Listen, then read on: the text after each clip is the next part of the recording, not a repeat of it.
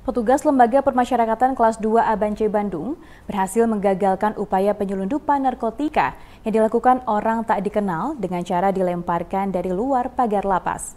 Petugas pun berhasil mengamankan barang bukti 87 paket narkotika jenis sabu-sabu dan tiga bungkus tembakau sintetis.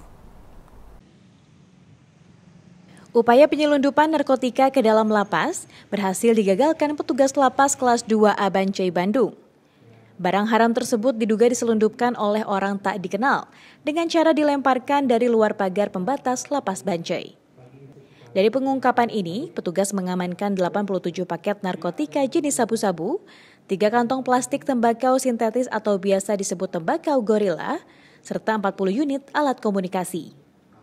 Kepala Lapas Kelas 2 Abancai, Trisaptono Sambuji menjelaskan, Pengungkapan kasus ini bermulai dari kecurigaan petugas terhadap sebuah bungkusan yang menyangkut di dekat pagar lapas.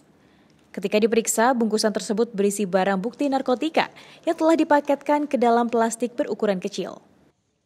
Dan Polres kita alhamdulillah pagi ini melaksanakan kegiatan pemusnahan barang bukti eh, dari eh, sementara 87 paket kecil sabu, kemudian eh, tiga bungkus tembakau gorila dan beberapa alat komunikasi kurang lebih ada sekitar 40 alat komunikasi. Kepala Divisi Pemasyarakatan Kemenkumham Jawa Barat menyebut, upaya penyelundupan narkotika ke dalam lapas dapat terus terjadi. Untuk itu, pihaknya akan semakin memperkuat sinergi bersama unsur Polri dan BNN dalam melakukan pencegahan maupun penindakan. Kami bersinergi dengan jajaran Polri dan BNN karena tidak mungkin lapas rutan bersih dari narkoba tanpa bantuan pihak Polri dan pihak BNN. Itu yang pertama, kita tingkatkan sinergitas kita.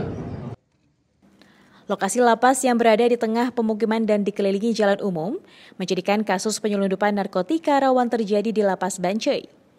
Namun, pihak lapas akan terus berupaya untuk memerangi peredaran narkotika di lingkungan lapas. Dari Kota Bandung, Jawa Barat, Bobi Roska melaporkan.